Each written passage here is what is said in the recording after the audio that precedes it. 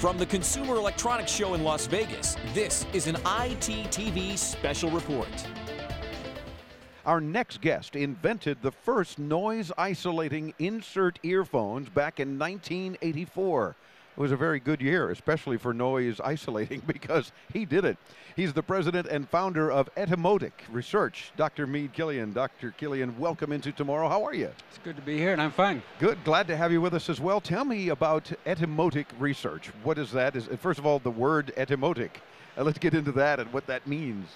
Uh, years ago, we were looking for a name that would be exclusive to define uh, a good real ear response, and got a classics professor who said in 500 BC in Greece, if he wanted to say real ear or true to the ear, you would say edem otic.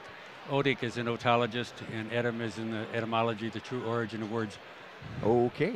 Well then, well at least now we know. but then tell me about uh, what is it that your research is known for? What is it that you guys do? Obviously having to do with with hearing and proper hearing. It all has to do with hearing.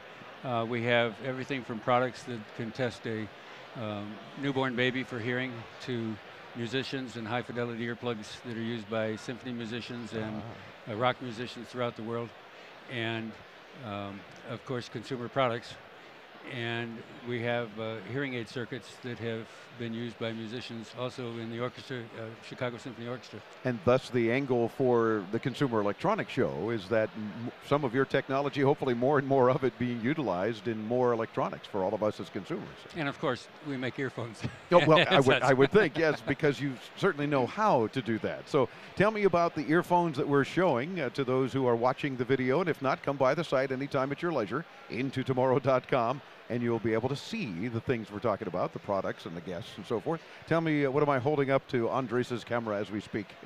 the uh, two products here are electronic blast plugs, and Whoa. they grew out of the realization that one third to one half of the soldiers come back with uh, hearing damage, oh. tinnitus or, or uh, hearing loss. Yeah. And it's not because they don't have hearing protection, they do, but they are afraid that it's going to interfere with their ability to detect or localize the enemy or their friends, wow. and they don't wear it sure, at the crucial even, times when they are sneaking into a building and yeah, an IED a platoon member saying "watch out" or something. You don't oh, want to miss that, obviously.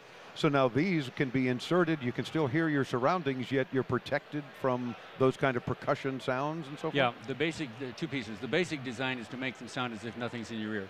Gotcha. So that everything localizes normally. I go out on runs and to localize planes. I mean, they do that. Yeah. Then the fact that they have such a tiny receiver means that it can't move far enough to reproduce more than about 115 dB. So 160 dB or 150 dB gunshot yeah. just comes out of as a, as a safe pop. Wow. Okay. Yet they can get used to it and know that it is a gunshot. Oh yeah, so it sounds, it sounds like a gunshot. It's yeah. just not dangerous anymore. Wow, gotcha. And these are you providing these now to our military? I hope. We have three uh, squads of drill sergeants returned from Iraq and Afghanistan going through a scientific evaluation of them. But the real question is, will they wear them? Yeah, true. Everything is a good hearing protector, but if it's not, you got to do it. It's like a bulletproof job. vest. It's not going to help you if it's sitting on the table and exactly. you're out in the field, for example. So, and then real quick in 30 seconds, the other uh, blue ones uh, are these? Uh, these are our hi-fi earplugs, which we included just sort of as a backup. Oh, okay. And uh, we uh, they're available. Uh, have been for almost 20 years. And uh, are wonderful for blocking out your rock concert, reducing it. They reducing it. They don't change the sound quality. They oh, just okay. reduce the level. Good. So especially as we get a bit older, perhaps. We want to enjoy the music without our ears bleeding. That's there's, what these will do, right? There's a lot of recent research that suggests that hearing loss is evidence of a misspent youth. Yeah, ah, good point. So, especially if we can teach our youth earlier on to protect their hearing, enjoy their music and whatnot, but be careful, we're a whole lot better off for it. Do check out his website because uh, Dr. Killion and his team are certainly up to some pretty cool things. It's uh, etymotic.com. What? You need me to spell that? I can.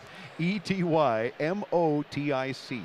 Etymotic.com. We'll link you there. Hit us up at intotomorrow.com and you'll be a click away thanks for joining us. Let's stay in touch because I want to talk more and learn more about how they're in, more integrated, especially into consumer electronics for us. Thanks for having me. My pleasure. Thank you very much.